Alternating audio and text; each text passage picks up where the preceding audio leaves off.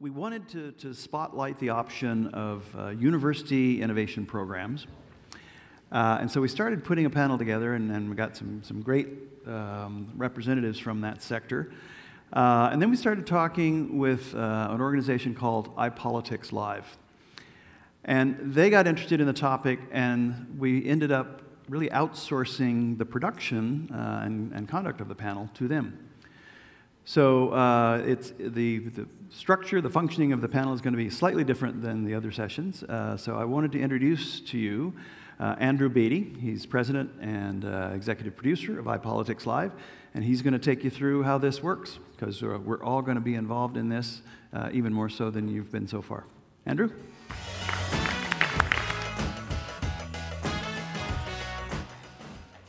So, ladies and gentlemen, uh, first, thank you, Neil, very much for the opportunity to be here. And, uh, and I, I, guess our panelists can have a seat at any time. I mean, we might as well welcome them up onto the stage as well. Uh, while they're just getting seated and comfortable where they are, and I can walk through some of the technology that we're going to be using. So, as Neil said, for, for a little bit of background, what is iPolitics? Um, iPolitics Live is the live journalism arm of iPolitics News Media. For those who are not familiar with who we are, we provide news, information, and analysis um, on federal, federal, provincial, and municipal related politics and uh, public affairs issues right across the country. Um, we have been in operation since 2009. Um, we have operate the largest, uh, I think, arguably the largest parliamentary press gallery right now, our press corps in, in Ottawa. Um, and we, rep we, report nationally. And I'm going to introduce you to my vice president and, our and um, in, the, my in the Toronto area, Jacqueline, in just a moment.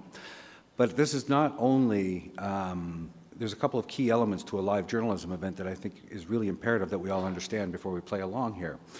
Uh, in a live journalism event versus other events, uh, this is truly live journalism. So my reporters are reporting on what is said on the stage. Um, so to my panelists, be forewarned, everything is on the record, just for the record, okay? Um, so secondly, the other thing that uh, comes into play here is that we're also streaming this live on the iPolitics Live Facebook page.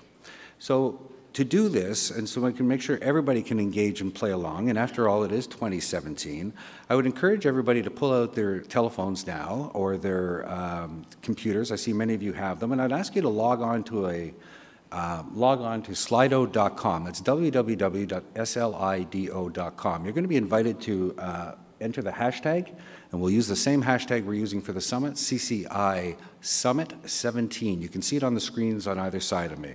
So go ahead, please do that right now. And let me, while you're doing that, I'm going to tell you a little bit about what Slido can do. So I love the fact that the moderator of the last session said we're going to ask Twitter-esque questions. This is the way we ask Twitter-esque questions. In 160 characters or fewer, we're going to invite you to, to pose your questions to the panelists. Um, it's also a crowdsourcing method. So not only are we going to be able to put your questions in, you'll be able to see what everybody else is posing in at the same time. You like it with a thumbs up, like Facebook like. The ones with the top, the ones with the most like get elevated to the top of the queue. And then from there, our moderator will then ask our panelists the questions. Well, that's when we get to the Q&A portion. Um, just as everybody's pulling it out right now, I just want to see that, uh, that everybody can, can pull it up. Um, what we're going to do is we're going to put on a little poll here. And I'd like everybody to ask the question, because this is the, que the question we're going to be asking today, is can Canadian companies actually innovate by going back to school? So let me just see, as a number of you are logging into it, I'm going to start showing the results, and look at this. We've got people that are a lot are unsure now. We've got 47, 50 people. So you understand how this works okay?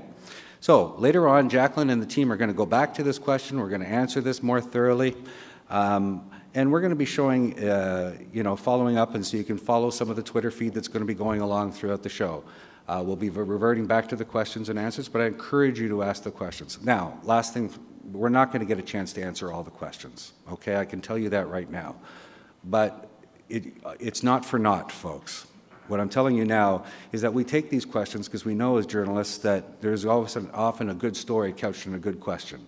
So we take the questions back after the show, we bring it back to our newsroom, and then we explore them even further to, for further stories and further development. So, without further ado, I'd like to introduce you to uh, our moderator for this afternoon session, Vice President with iPolitics Live, Ms. Jacqueline Milczarek. Jacqueline, show is yours.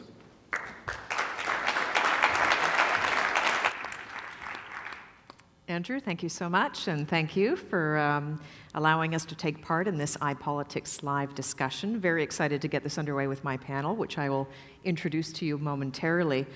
Um, my name is Jacqueline Milczarek.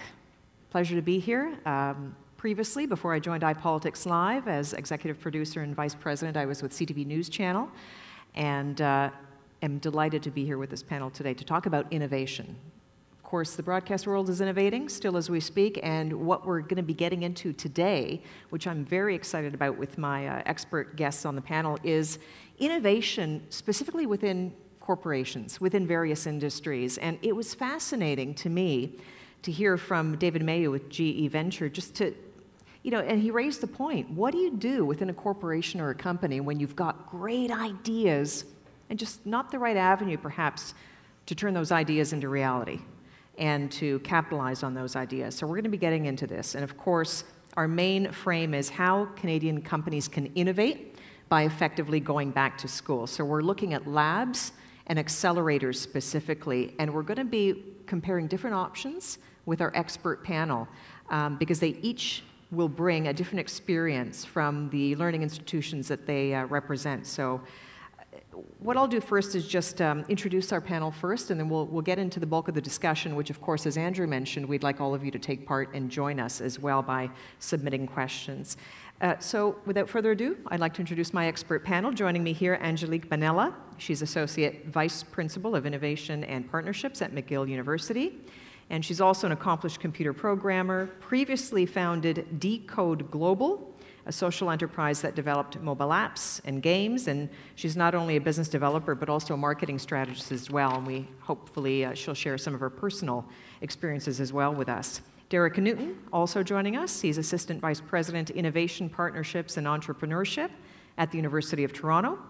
And uh, of course, the U of T has partnered with the Mars Innovation Center and also has the Banting and Best Center for Innovation and Entrepreneurship. And Derek has done a lot of work consulting in the biotech sector and field as well. So we look forward to tapping your expertise on that. And uh, Christine Gulbranson is Senior VP of Innovation and Entrepreneurship for the University of California System, and uh, which, by the way, is America's largest public research university with 10 campuses, five medical centers, three affiliate national laboratories, a statewide agricultural and natural resource program, and much, much more. So we're going to tap Christine's expertise in terms of uh, renewable energy as well, because we know that that's a very big part of your background as well. So thank you all for joining us and being here. And uh, again, just a reminder if you haven't already gone to www.slido.com, please do. You'll see when you uh, log on to Slido, it'll ask for a hashtag or an event code. So once again, that is CCI Summit 17. And please go ahead and submit your questions there, and we're going to be putting some of your questions, as Andrew mentioned, to our panelists here. So let's just start by the obvious question is why do companies need to innovate? Of course, it's all about global competition. And uh, you know, the race to be first to introduce a product, an idea, a service, whatever it might be. And we know that the sad reality is is that Canadian companies aren't as innovative as they can be. In fact, we know that spending in the Canadian private sector in terms of R&D is only half of what it is stateside. That's a huge gap. We know that innovation, you know, many would argue, has not been in our natural, natural DNA as Canadians. Some people make that point, but we are changing this quickly. And part of that we see in Budget 2017. The federal government has committed a vast amount of money, 950 million towards these innovation superclusters that we're going to be looking at in great detail. So the push to turn Canada into a much more powerful innovation nation is underway. Uh, so let's get to a discussion that's going to be touching on several sectors digital, clean tech, agri food, advanced manufacturing, bioscience, and clean resources. And um, as we know, we've got a lot of clean tech innovation happening here in Ontario a new AI center, the Vector Institute, that is going to be setting up uh, shortly. And of course, uh, BDC is, is pivotal in terms of injecting money and providing capital to make these um, ventures and turn them into reality. So I'll start with Angelique. Angelique, uh, we know by background you're a mobile app developer. You've done a lot of work in the area, so the Internet of Things, wearables.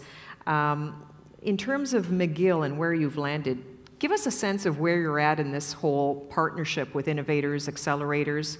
Fair to say you're, you're sort of surveying the landscape, as it were, and trying to figure out where does McGill fit in? Who do you partner with? Do you have success stories to share yet, or are you still in that process? Sure. Um, so I'm quite new to McGill University. The, the role of having an associate VP of innovation was created. Uh, I started with McGill just under a year ago. Um, so, so it's a big signal for a university, traditional university that's almost 200 years old, to really be taking a focus and, and prioritizing innovation. In, in early in my mandate, what I've seen is the critical importance of building the innovation ecosystem. So whatever initiatives or programs that we're launching at McGill will always be connected to broader ecosystems within Canada and worldwide. We're not going to invent things within the walls of the university, but it's really looking at what are model partnership models that we can um, we can foster, what are um, ways that we work, can work more closely with startup ecosystems or corporate ecosystems. Um, I'm there's actually some pretty interesting initiatives that I'm getting off the ground. And one thing um, that I'll talk about a bit briefly is what I'm seeing as, an, as a new model emerging for corporate uh, academic engagement, and specifically within the context of spin-offs. So Anomera is a, is a McGill spin-off, recently formed company in um, the advanced materials space. They take the byproducts of the pulp and paper industry um, and create a material that's extremely interesting to the cosmetics industry. And so what start, how this start, how Anomera started was, was from a very typical sponsored research contract. A big multinational cosmetics company had a research question. They, they reached out to McGill, to a researcher, and said, tell us what you think and, and provide us with insights from that started a relationship that has evolved over several years, with the end result being uh, a new Canadian startup that has just received $1.25 million in seed funding um, and a strategic partner. So having that multinational involved in what was very, in the early days, very typical um, engagement, but having it evolve to how can that multinational help with introductions, with um, being the first customer to help land seed funding, has evolved to a longer and more strategic partnership. And with that, I see a really interesting model that we can replicate and scale within within the context of McGill. But this is very much an, one success that you can clearly yeah. point to at this stage. Okay, so we're yeah. going to ask you a little bit more and sure. to expand on some of that and how that relationship started and what the keys to the success that you've had already, yep. what those are. Um, but I also want to bring in Derek. And uh, Derek, at the University of Toronto, of course, the reputation of Mars, already well known. Can you just give us a detail of a few, part, a few of the projects that came from that partnership that you deem to be a huge success already? So one of the ones uh, that's been very exciting for us is, of course, JLabs. Uh, uh, and what many people may not know about this uh, program is it started with a research engagement between the University of Toronto uh, uh, and Janssen, where we fund a very early stage neurocatalyst funding program. We work with them. They provide dollars along with the Ontario Centre of Excellence and others. And this is to fund high risk, high reward research to help get really those innovators who are stretching the boundaries, get them funded uh, in the types of projects that are difficult to find more traditional funding avenues. Uh, and so that's where we're working with a large multinational company to fund uh, early stage, exciting moonshot type of research.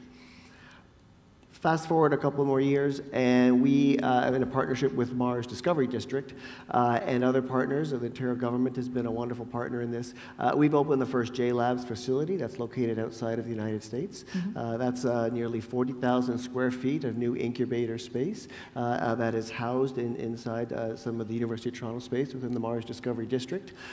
we've just come upon the one year anniversary of that being open, and it's very exciting where what we've done uh, is uh, that facility opened with the largest number of new biotech companies of any of the J Labs facilities that have been created uh, uh, uh, throughout the United States. Uh, so that's a very exciting way where we've partnered with a large company to create new spaces. One of the things we've seen at the University of Toronto uh, uh, is, is we've worked very hard over the last couple of years to reimagine how we can use the research uh, uh, and the, the IP portfolio of the university to aggressively create new company opportunities uh, for entrepreneurs and startups. Uh, over the last five years, we've created over 150 research-based startup companies, and they've gone on to raise over a billion dollars of someone else's money uh, as, as they begin uh, uh, their move towards the marketplace. But one of the things that we're looking at now is, uh, uh, as we are with, with Mars and others, is how do we help those new companies stay, grow, and scale here in Canada? And, and that's where working with, uh, with, with JLabs, the Ontario government, Mars, to create new spaces where those companies can do that.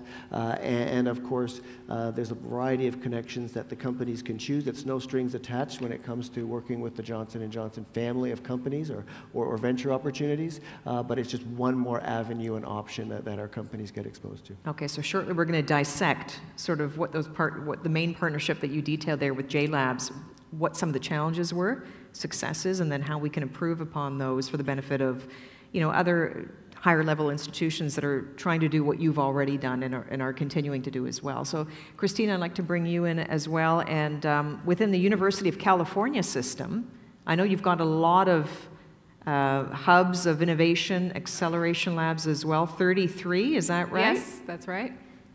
Yeah. A few big success stories that you can share? Well, so actually, because we are so large, right? We have 200,000 approximately uh, faculty and staff. We have 240,000 undergraduate and graduate students enrolled. There's a lot of activity going on. We average five inventions per day. Um, our patent portfolio has uh, over 12,500 patents in it. And so how do, you, how do you contend with such a large entity, right? And so one of the, so the Innovation Entrepreneurship Division is new within uh, UC Office of the President corporate. Uh, it was formed a little bit uh, less than a year ago. And one of the things that when I came in is like, how do we know all the different activities going on, given that we have 33 incubators Right. throughout the system? And so what I did is I launched a new initiative, and it's called the I Am a UC Entrepreneur Initiative. And so what we did is we asked our undergraduates, uh, faculty, and staff to submit 30-second videos saying what exactly they are working on, what technology, from Alzheimer's, a new drug for Alzheimer's, to um, a, a new uh, app to uh, find places to park where it's really difficult. It's, it's the full spectrum from students and faculty. And because we have those 33 incubators, we, we have so many now um, submissions telling us about the activities they're doing at Skydeck at UC Berkeley, at the Cove at Irvine, at the different accelerators, uh, incubators at Riverside and UCLA. And what it's, it's um, coalesced into is a marketplace. It's a marketplace for many people in this room here to come to and to see all the many different technologies being discovered and coming out of the university. I'll start, you know, let, us talk about some of the challenges that you've uh, all experienced in terms of partnering with industry, individual companies. I've got to think a lot of companies are naturally a little bit reluctant when it comes to the scale of these partnerships because we're dealing with innovation. And the natural inclination, and correct me if you haven't experienced this, might be well, what about intellectual property, right?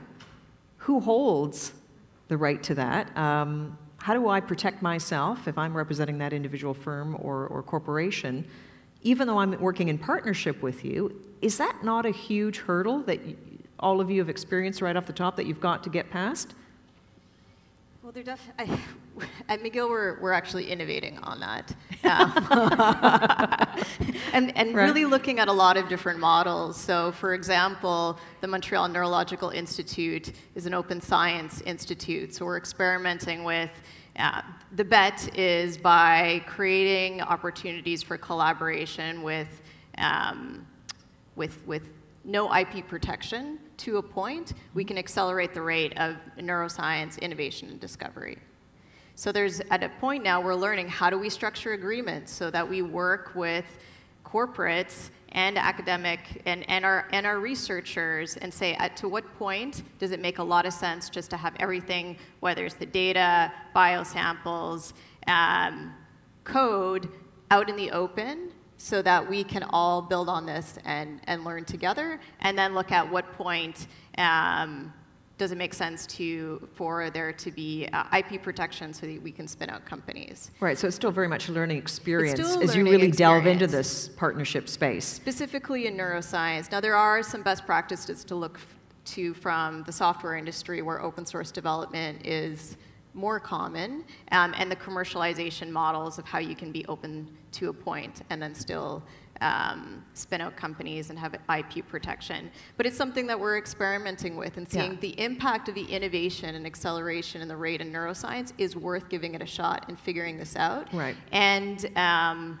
and working very closely with corporate partners um, in that to see what's the right model for And, the and fair to say that's one of the initial barriers as you get started in this process? How do you structure, how Yeah. do you structure the deal? How do you Okay. structure the agreement?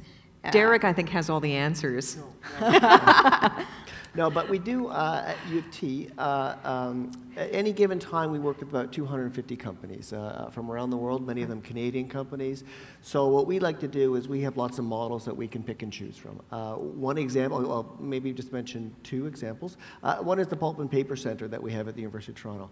Uh, this is an engagement that we've had uh, with the, the Canadian pulp and paper industry uh, that's gone on for over three decades. Uh, uh, we've created a membership model in which these companies, which, which in and of themselves did not have a lot of internal research capacity, and, and the university was able to facilitate uh, them asking questions which are applicable to all of them, uh, and the university being able to help them tackle that. So that's been a wonderful way, and then the university has found ways to make sure they all get to use that. In fact, some of the thermal management technology that's present in just about every pulp and paper mill around the world has come from the University of Toronto.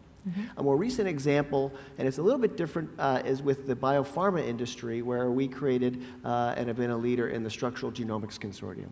And this has been another open innovation model. Uh, uh, and again, and this is where it's different because many of these companies, pharmaceutical companies, uh, they actually have extensive internal R&D capacity, and they use their IP portfolios offensively and defensively in, in all sorts of creative ways uh, in the marketplace around the world. That said, we were able to facilitate a way in which they could work together, find areas where it's pre-competitive, and through that funding model and their, centers of the Structural Genomics Institute, uh, uh, Genomics Consortium in, in Toronto, at Oxford, and at the Karolinska, and other places around the world, uh, that group has uh, now, uh, uh, for certain classes of, of kinases, which have been, uh, their structure has been solved and put available in public databases, over 25% of the world's structures of, of this class of molecules uh, have been accomplished and solved and made publicly available uh, by this consortium. So that's a great model where it's open innovation, uh, no one is patenting the results, we're getting it out into the public domain so users from around the world can benefit. But in fairness, you know, when it comes to life sciences or bio or pharma, Yeah. you know, on intellectual property, these are, it's an industry that's got that down in spades. Right. Right? And Christine, you work with a lot of clean, clean tech firms, startups, I'm guessing, newer firms that probably don't have that experience in terms of, you know, what an intellectual property contract even looks like to a certain extent. So how do you, again, get over that initial hurdle and reluctance to partner on that basis? Well, actually, let me, let me share with you uh, an example of what UC Berkeley did about 12 years ago. So they looked at their, their tech transfer model, right? And they, they relied heavily on federal research dollars to, um, to do fundamental research. And then the products, they asked the companies to license the, the products that came out of that, and the company said, well, wait a minute, this is, this is way too early. We don't know if the product's going to be successful right? So then they, they thought, okay, how do we flip this around and how do we engage better with, with the companies? And so what they did is they brought them in earlier. And so they said, okay, so we want you to um, sponsor uh, research at an earlier stage, and as a result of that, you now have the ability to license that research, or you have an option agreement to patent the technology. And their goal of doing that was actually to double corporate sponsored research. Uh, but they actually blew past that. Initially, it was four times the result, and then eight times the result. Because companies really are, you know, looking at how do we get involved at an earlier stage, and how do we create that win-win situation, right, for both sides. And so those are the type of IP models that we're looking at, as well as, you know, corporate affiliate models, right, where corporations are looking at how can we sponsor research for a certain discipline and, and how do we engage in, in those type of models and so really looking at those levels of engagement i think is, is really important So you're talking about early stage partnerships, as you Early touched stage. upon at the research stage. Is that your experience, Angelique, in terms of you know the companies that are approaching McGill or that you're actively working with? Do they want to partner at that early stage, or what? Are, what's your experience with that? I think there's a lot of interest in seeing what's happening at the early stage. So, whether it's investors wanting to get insights into what's happening in the labs that have possible commercial potential, um, or companies looking at how, how can we develop a longer term relationship, i.e., getting in early, at the earlier stage, for sure there's the, the interest there. Um, and I think that's actually mutually beneficial and a model we should be going towards. I think the, the expectations of doing sponsored research and having something like be ready for the markets in the near term, it, it just doesn't work. The, the time frames of academia, the amount of development that has to happen, and like getting a product to market just set are, it can set up for like um, mismatched alignment. And so looking at what is it's a long game it's a relationship that we're going to invest in we have opportunities to engage with students and researchers with spin out companies uh, is a model that i see is quite interesting and one that i think will be quite successful for innovation in canada Derek, do you want to speak to that as well? We're seeing both. Uh, uh, we're working in, in the clean tech industry. We're, we're working with uh, a consortium of companies, again, where the university is pleased to play a, a facilitator role. We're actually actually going to be a little bit of a, of a steward for the IP uh, as we look to make sure that all of the members are going to be able to access it and, and, and use it in ways that, uh, within their own business model. Uh, so we're seeing that on fundamental research. On the other end of the spectrum, we're seeing companies leapfrog the, uh, uh, the sponsored research route, and they want to work directly with us on innovation. So we announced a partnership uh, uh last year with the Royal Bank of Canada, uh, uh, where they're helping us with a number of funding and prizes that are going to go directly to early stage companies. in fact, in the building I work in, we're working with Royal Bank of Canada to renovate over 15,000 square feet of new space, which we're going to make freely available to U of T entrepreneurs, and we're going to see if we can make it available for entrepreneurs from across Ontario. Uh, so we're seeing different companies wanting to come and work for the university uh, at different stages, mm-hmm. Uh, uh, and, and of course, uh, also work with the Royal Bank to create their machine learning research program at the University of Toronto, where they've cited it with us. So we've seen companies coming with us, coming to us at earliest stage, and then also wanting to interact with the startups that are at and around a university. And Christine, your experience? Yeah, so, so that the, the later stage, we have that as well with our, our incubators. So we have kind of a membership model where some of our, our incubators have corporate members and, um, and they you know, give that kind of as a gift and that they're able to look at those technologies that are coming out that are a little bit later stage than just directly into the lab. Just with, with your vast experience, with all the incubators and accelerator labs that you have, is there a template? Have you developed one template for every partnership? Or is it ever evolving because, of course, the needs, the expertise of the company, what they're looking to engage in in terms of research changes? Yeah, I, I, think there is no one size fits all for sure. I wish right. that there were. I think that would make our lives so much simpler, right?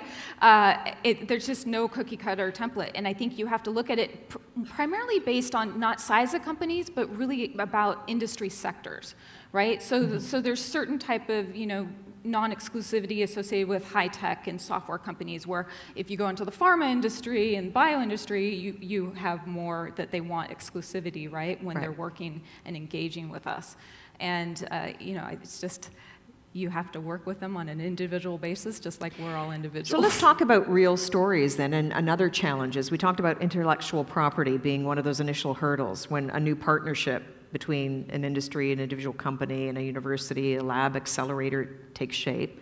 What are the other big challenges and hurdles in your experience that you've all experienced? And I'll just throw this open, open question to each of you, and whoever wants to jump in, please go ahead. So intellectual property, uh, of course, is, is one. Though- um, where we should always remind ourselves is where the commonality is, a university is not a commercial entity. Uh, uh, So when working with a company, we actually want to see those results get used and deployed in the marketplace, and, and so they can have a range of socioeconomic benefits. So that's where uh, university and companies work well on that. Uh, Publication. Um, Universities, uh, we're a public institution. One of our mandates is to see research results get out into the public domain uh, uh, and be made freely available, uh, uh, uh, whereas companies um, um, may want to have a more proprietary take on the type of research they're doing. So we work with them in terms of how can we provide allowances to patent, should we want a patent pre-publication. But one of the other areas that we have active conversation with companies is, is our need to, to see students defend their thesis and, and get results into the public domain. And sometimes they may have a desire to want to keep information uh, a little closer to their chest. So publication of research, yes, Christine? which is always very important in academia. If, if, I can talk about um, my own personal experience um, when I was running a, a renewable energy accelerator. And so, what I found to be important is to have corporates at the table. To, uh, you know, I had the president of Chevron Energy on my board, I had the CTO of Big Green um, Technologies for IBM on the board to understand what industry was looking for. So there's so many different things, especially kind of in renewables and materials plays, where you can go back to the lab and you can tweak it based on, on what type of, you know, products that you might be looking for. And so to have that pool from the um, from industry to help us understand what exactly the needs are, uh, as opposed to just kind of pushing the technology out without you know and hoping somebody has a catcher's mitt and you go here here catch right. Um, to, to have that, that relationship from the beginning um, and, and that um, very honest conversation. And it's kind of what I've seen too is, is the mismatched expectations come if there's a sense of urgency. We need, we've got like, we want to hire a ton of PhDs tomorrow to fill our immediate needs. We have a challenge, we've got a product to ship in a timeline, and, and kind of expecting the, the universities to, be- to, to be able to jump, Jump at at attention? doesn't work so well. But the investment in the long-term relationship, saying, okay, well, here, what are your needs? What are the timelines? How can we work on this as a partnership? Um, is the way to go. And I'll get each of you to answer this as well. Is there more of a focus in terms of the companies that approach the universities on innovation labs, acceleration labs? I mean, what are you seeing in terms of that dynamic? Do they already have something formulated, or they really are coming as a partner with the university to say, hey, we, we need to do something on this front? Is it 50 50 or is it 80 20?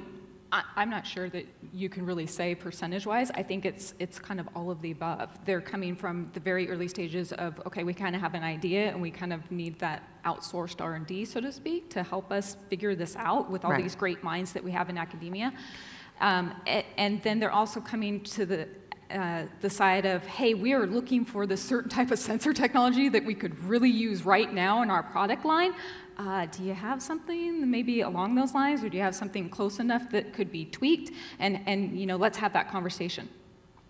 Okay, uh, and I see our questions are coming in, so I'm going to get to these momentarily. But just um, any other major challenges that, that we can bring out in our conversation and, and possible solutions to that as well that any of you have experienced that, that we should share? Christine?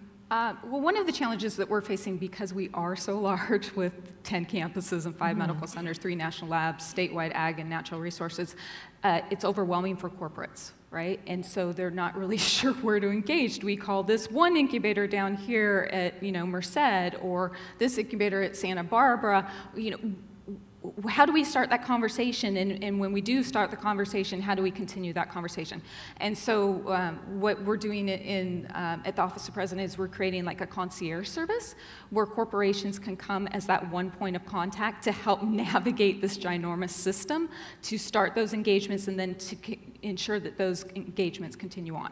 Yeah, and that's something that we have at McGill too. So my office serves as that one-stop shop for for the whole university. Is the you know the university is very decentralized in terms of faculties, and for one company, they're like, well, we're interested in the business school. We're also interested in the faculty of science. Oh, we're interested in undergrads and grads, and that's like you know saying, well, there's ten different people to go and talk to doesn't really work well. So being able to have an innovation office, that's the one place in the university where uh, companies can go, and that group has like the broad view of the university has been very helpful. What about, I mean, are you all getting a sense that you're all competing as well?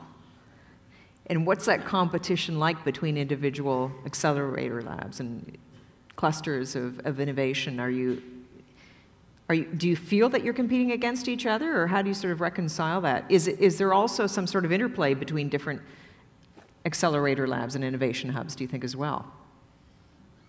Is it collaborative at all?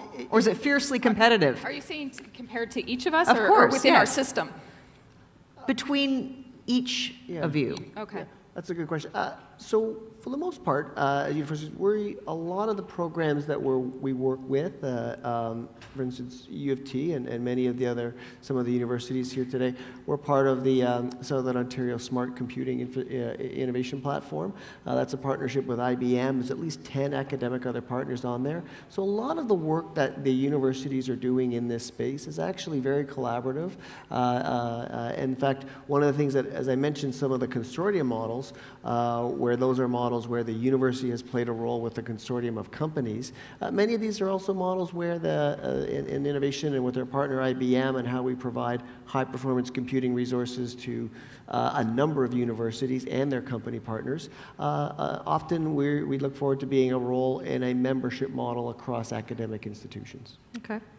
I think there are examples. I mean, we've had examples where we um, work together with multiple campuses and multiple universities uh, on specific issues, like our Energy Bioscience Institute is with uh, British Petroleum, UC Berkeley, Lawrence Berkeley National Lab, and University of Illinois Urbana-Champaign, right? And so that was an investment to figure out energy biosciences and how do we, how do we um, create paces with respect to that technology. We also have the, the Parker Institute that we're involved with.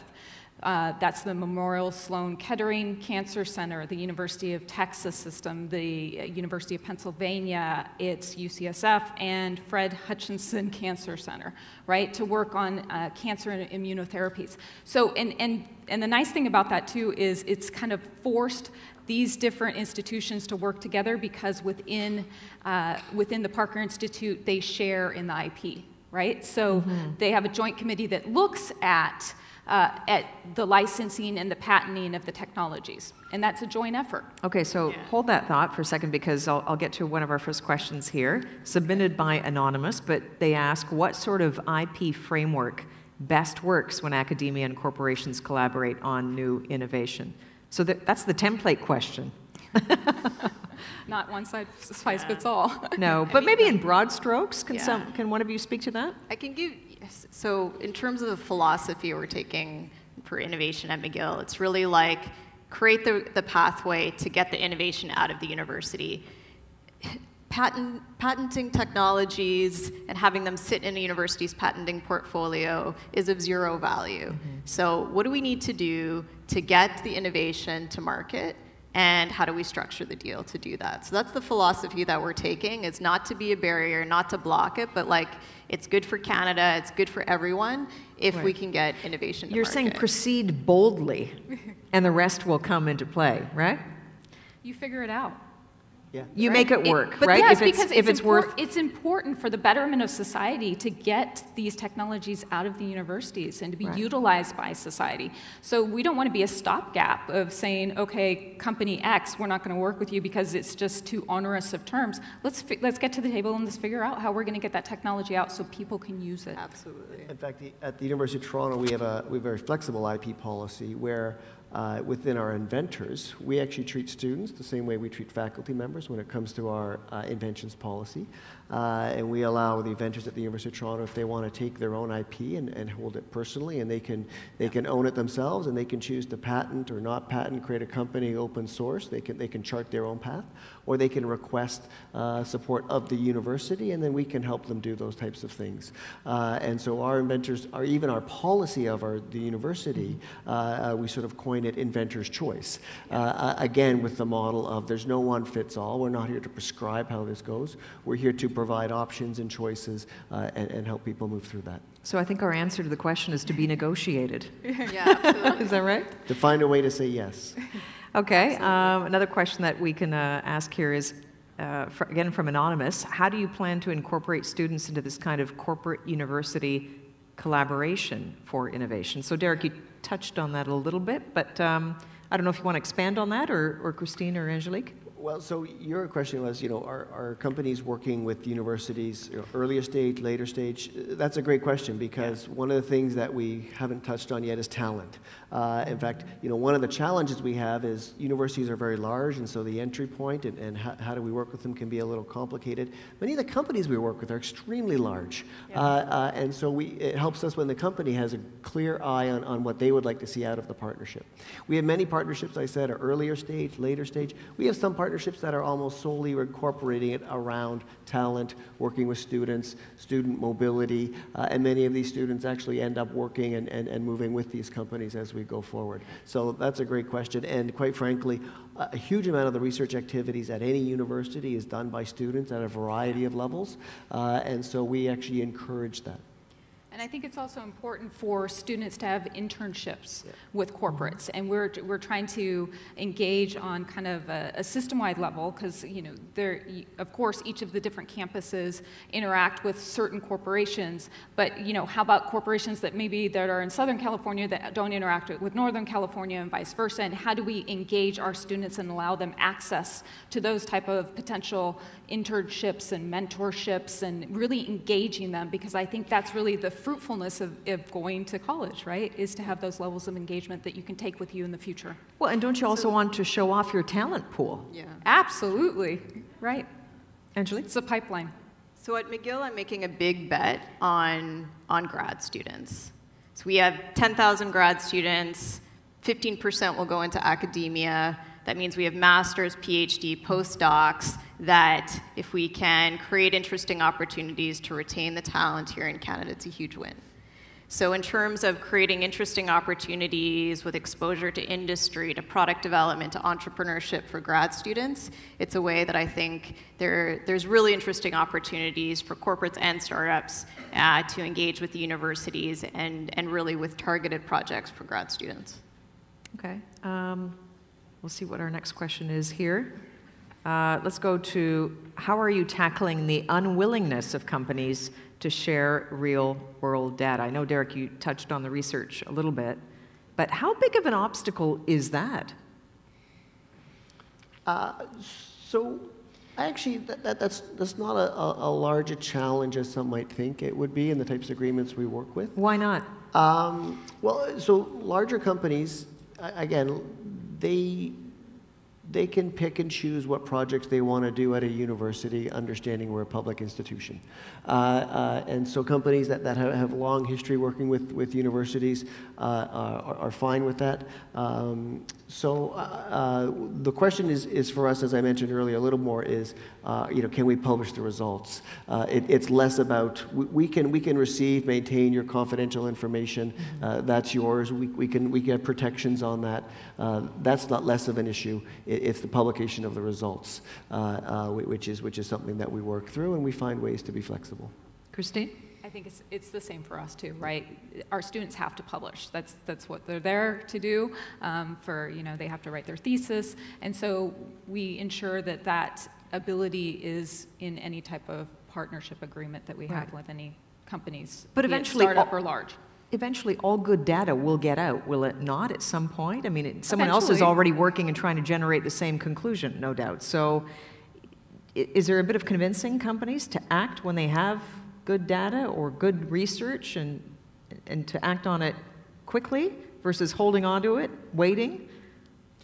I think that comes down to the, the structuring of the agreements and, and looking at there's greater value in sharing this data um, and up to what point is it interesting. And it's, it's, we're looking at it a lot, again, in the context of open science at the Neurological Institute um, and looking for the partners that do get it and do want to do that and see that, yes, like having this data be open and sharing the data is hugely value add to innovation in that space.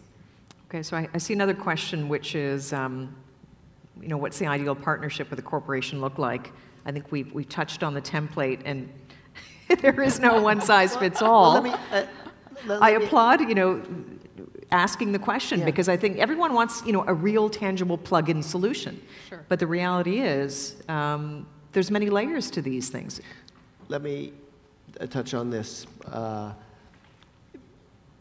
we tend to think of universities and corporations as these entities. Uh, what does an agreement or a template look like? At the end of the day, these partnerships work because people at each organization make it work. Uh, uh, and, and so I think we need to that all of the what does an ideal partnership look like?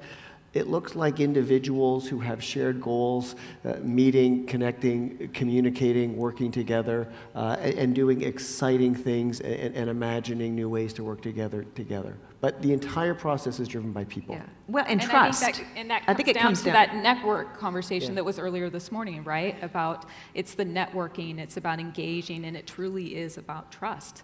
And can can I trust you that you know you will do the right thing with the data if you get it? Okay, so we framed our discussion. Oh, forgive me, Angelique. I was just going to say it also is, is really like both parties or all parties seeing the ecosystem play. So we're in this together to create innovation. We're stakeholders. We're going to work together. The relationship's going to evolve, but but it's not the universities that are separate or corporate sector that's separate or startups. We're all in it together to drive innovation forward. Okay, uh, we framed our initial discussion as, you know, is it time for corporations and companies to head back to university? But I love the flip side question to that is, do universities have- have much to learn about innovation from corporations? What have you all learned? Absolutely. It's a bit of a humbling question, I think, but Well, I think it really needs to be a true It's a- partnership, right? Like again, the, like talking about the pool, right, and understanding what are the needs out outside of the university setting, and and corporations are the ones that are going to help us understand Yeah. that better. And where we've seen really interesting like innovation come out of McGill and spin-offs is when the early insights were brought um, into the university uh, from the corporate sector. So this is a need. This is a need in the market. This is going to add value. Can you help us solve this, or can we work together on it? So absolutely. Okay, so clearly the bulk of those who took part in our poll, and I thank you for that, um, are saying Canadian companies can innovate by going back to school. Um, and I'm not surprised by that. But still, let's go back to the, the real data and statistics on this, and that is there is still such a reluctance. Why? I mean, at all levels of government, we've got a massive commitment to funding, to injecting capital into uh, these partnerships, and, and you know, it's still a huge hurdle for a lot of companies. Why is that? And what can we do to better convince corporations to say, seize the opportunity that is there to innovate and to be able to, to raise the bar on how you compete globally? That's a great point. Uh, you know, between the programs that are here offered by uh, the Ontario government and, and those that are federally, there is no better time for any industry to be working with a, w- with a university. Uh, uh, I mean, the financials, uh, in terms of just the number of programs that are here to augment, uh, uh, to, for us to increase the number of trainees and the level of activity we're able to do. Uh, uh, so I think there's, a, there's an incredibly robust number of programs that are here to augment that, uh, uh, and, and we've seen a lot of growth in the use of those programs. In fact, since 2009 at the University of Toronto, we've seen uh, corporate uh, uh, research partnership in terms of dollars grow by about 70%. Uh, so we've seen an exciting amount of engagement. A lot of that is coming from international sources. So, but I think we're seeing, I think we're seeing a lot more engagement in different types of models, as I mentioned, both research and in innovation, in talent, and entrepreneurship. Can I pick it up on the talent point? Because isn't the real risk of not acting and pursuing innovative solutions to business a you know, talent drain, right? If companies aren't innovating, if they've got individuals within their ranks who want to innovate, see the potential, and aren't allowed that avenue, don't we risk losing our very best? Well, we do. I mean, I, I, I look at it as corporations are, are looking to partner with academ- academia, with undergraduates, graduate students, because they're also looking to grow their pipeline, to grow their innovation pipeline of ac- acquiring those type of uh, students, right, into their into their companies to help them innovate. And so they can kind of see how, from that level of engagement when they're in grad school, of how they're working together to bring them in. And I think a lot of companies are, are looking towards the university systems to help with that, to increase the, the brain capacity, so to speak, like you said, right? Um, In innovation. Derek, did you want to jump in on that as well? or- Well, I would add, uh, and you referenced it earlier, uh, the creation recently announced Vector Institute, which is uh, getting underway. Um, large number of, of corporations, Canadian corporations, have, have, are, are working uh, with that institute. Um, a big part of that is talent, is, is about, is about uh, uh, companies engaging uh, uh, with, with new uh, talent, with, with research programs and, and teaching programs. So they, they recognize that this is a talent area that they need to, to grow and, and that there's incredible sources of this type of talent across Canada. Okay, so just uh, uh, let's sort of tie all this together just with a bit of a short summary. So we're seeing uh, the intellectual property being a challenge, just uh, moving on, incorporating some of the research that perhaps some companies are sitting on as well, and engaging in some of these active partnerships. The funding is there. Uh, still a bit of an education process, uh, clearly, but not one template, unfortunately, that we can offer up as a result of our discussion today, but we continue to work towards that. So uh, I do want to thank all of you for taking part in uh, our discussion. And um, of course, it's, it's been an informative discussion, and we also want to thank you for submitting your questions and uh, being a part of our interactive question and answer period as well. So I want to thank uh, all of you for taking part in today's panel. And uh, at this point, I believe Andrew Beatty will be uh, joining us shortly just to wrap up our discussion as well. Any just parting bits of advice or encouragement that I can throw out in a quick one minute summation here? The, I see the universities as a place with the doors open. Come talk to us. Come explore ways to collaborate, and uh, we'll drive innovation in Canada. Our door's always open. We're always open to partnerships. I think it's, it's one of the great things of being within a university is we partner with so many and there's, uh, we don't hold back, right? So, Yeah. open door policy. From early stage uh, research to innovation and entrepreneurship and talent, uh, there's no better time to be partnering with the university. Mhm. And if, if individual companies don't step in, others will, right, globally, because it's, it's all about that global competitive race. And uh, the time to act is now. The longer we sit and wait and delay, the further behind we, we may fall as a nation. So that's the, uh, the sad truth there. So um, the need to innovate is now, and we thank you for some of your perspectives, and we appreciate the insights. Angelica Mannella joining us, and Derek Newton, Christine Gulbranson. Uh, we want to thank you all, and it's been a great discussion. Thank you so much. Thank you. Thank you. Thank you very much, ladies and gentlemen. Um, Again, your questions were not for naught. We didn't get a chance to get through all of them, but I promise we'll be taking them back to the newsroom. I'll also be giving it to our panelists uh, because there's some good information within those questions I'm sure they'll benefit from as well. Ladies and gentlemen, thank you for participating today. To our viewing audience, thank you very much. We look forward to welcoming you again at another iPolitics Live event. Thank you.